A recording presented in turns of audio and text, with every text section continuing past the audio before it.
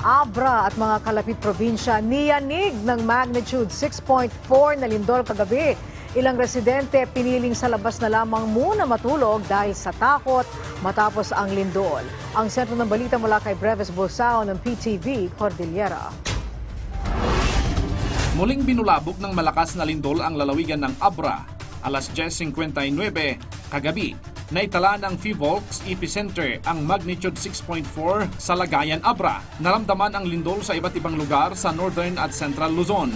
Sa paunang report ng Lagayan MDRRMC, limang individual ang nasugatan habang dalawang bahay ang totally damaged sa bayan.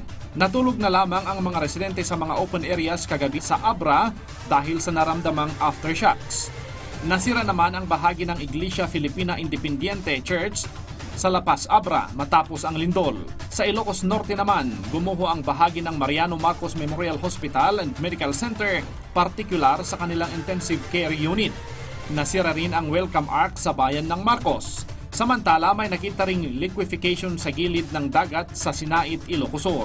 Dahil sa epekto ng lindol, suspendido ang trabaho sa gobyerno at klase sa lahat ng antas sa Abra. Ilocos Sur at Ilocos Norte. Nagsasagawa na ngayon ng assessment ang mga DRRM teams sa Abra. karamihan po sa kanila ay uh, no untoward incident, may mga power pa naman, may mga communication pa naman, ah, may although may mga bihirang uh, landslide, yung rock falls, sa awa ng Diyos wala namang ulan ngayon dito. At po sa sentro po ng Lindol, lalong-lalo na po dito sa Municipality of Lagayan, meron po tayong dalawang uh, totally damaged as of now at saka lima pong uh, individuals na may injuries po. Normal naman ang sitwasyon sa Banggad Abra, ngunit inaalam pa ng opisina ang kabuuang pinsala ng lindol.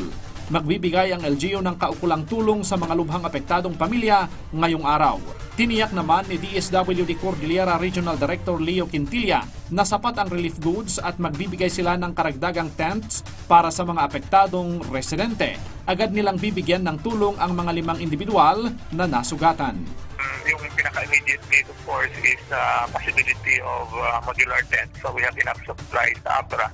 We still have around uh, 256 modular tents sa Abra at uh, we still have enough family food packs sa area kung kailangan mag-augment sa ating mga local government unit including sa PSWDO.